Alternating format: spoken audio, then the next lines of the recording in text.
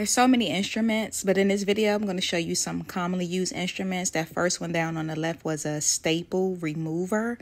We have a tenaculum there, just a few different types of operating scissors. Like the one I just touched is your Sharp Sharp operating scissors. Um, that next pair of scissors, uh, well, the second to next is bandage scissors.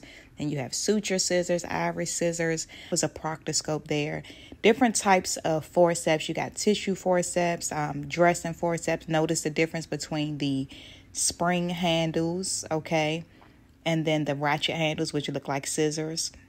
All right, there's a, a scalpel there, and we have some sponge forceps, um, a tuning fork, percussion hammers, needle holder. Now, this is a vaginal speculum, towel forceps, curette. And then next, I'll show you guys a hemostat. Okay, notice some come curved, some come straight. So it's very important that you guys familiarize yourself with commonly used instruments that you need to know for certification. And then, depending on the specialty you work in, you will need to know those instruments as well.